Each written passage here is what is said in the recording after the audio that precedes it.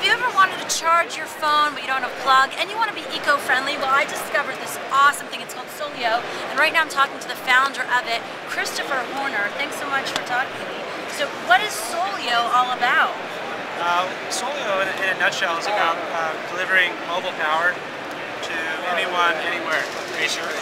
So this product is fantastic because it appeals to you know business traveler, emergency preparedness, uh, people that are just wanting to be off grid. You know, we have you know sold many, many hundreds of thousands of these to date, and people can basically plug into the sun for all their mobile needs, essentially.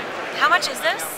Uh, the price points range between 49 and $150 depending on the model.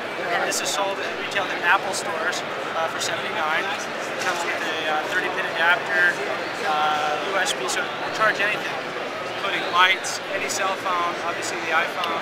Um, pretty much. This is what's next in charging yeah. all of your electronics it's, right here. It's pretty much simple.